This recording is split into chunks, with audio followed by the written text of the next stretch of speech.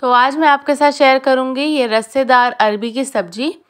रस्सेदार अरबी की सब्ज़ी बनाना बहुत ही ज़्यादा आसान है और ये बहुत ही जल्दी से बनकर तैयार हो जाती है। तो आइए हम शुरू करते हैं। सबसे पहले हमने यहाँ पर ली है अरबी। अरबी हमने 500 ग्राम के करीब ली है और इनको हम अच्छे से छील लेंगे और इसको हम गोल गोल तरीके से कट कर लेंगे। आप देख सकते हैं इसके पीसेस हमने मीडियम रखे हैं, ना ज़्यादा बड़े हैं और ना ज़्यादा छोटे। तो पीसेस अच्छे से कट हो चुके हैं, इसको हम अच्छे तरीके से वॉश कर लेंगे और हमने वॉश करके इसको रख दिया।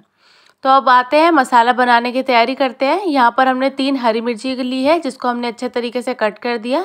यहाँ पे हमने दो टमाटर लिए हैं, जिसको हमने कट किया है और यहाँ पर दो लिए हैं हमने प्याज। तो तीनों चीज़ों को अच्छे से कट करके हमने अलग बाउल के अंदर रख दिया है। अब यहाँ पर हम तेल को गरम करते हैं।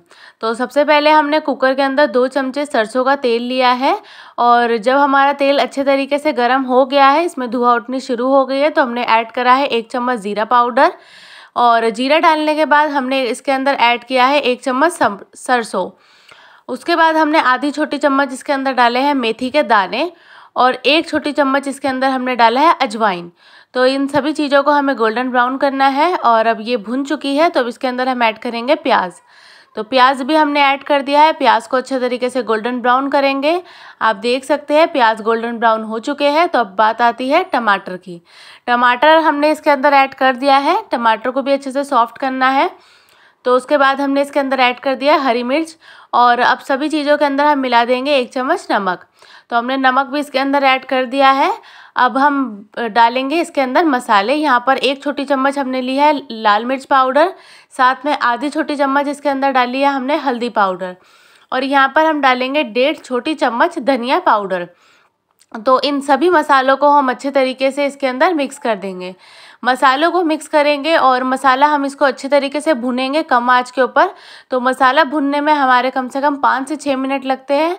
तो मसाला अच्छे तरीके से भुन जाए, इसलिए हमने थोड़ा सा इसके अंदर पानी भी ऐड कर दिया है। मसाला आप देख सकते हैं, इसके अंदर एक बॉईल आ चुका है। तो इसके अंदर अब हम ऐड करेंगे हमारी अरबी। अरबी हमने इसके अंदर ऐड कर दी है और उसको हम अच्छे तरीके से मसाले के अंदर मिक्स कर देंगे।